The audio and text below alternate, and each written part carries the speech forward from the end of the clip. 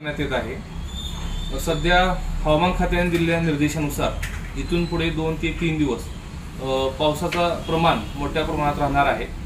त्यामुळे आपला हिप्परगा तलाव हा ऑलरेडी नव्वद टक्के भरलेला आहे. त्या परिसरातील नानज रानमसळे वडाळा येथील सर्व जलसाठे तुडून भरलेले आहेत. हिप्परगा तलावसुद्धा भरण्याच्या मार्गावर असल्यामुळे सर्व सोलापुरातील पांढरे वस्ती कळके वस्ती अवंतीनगर गणेशनगर येथील रहिवाशांना या एरियामध्ये नाल्या थ्रू पाणी येऊन हे सदरचं पाणी घरात शिरू शक शकेल आणि सदर पाणी येण्याची शक्यता असल्यामुळे सदरच्या वस्तीतील लोकांनी काळजी घ्यावी. कोणतीही समस्या असल्यास आपत्कालीन कक्षाशी संपर्क साधावा.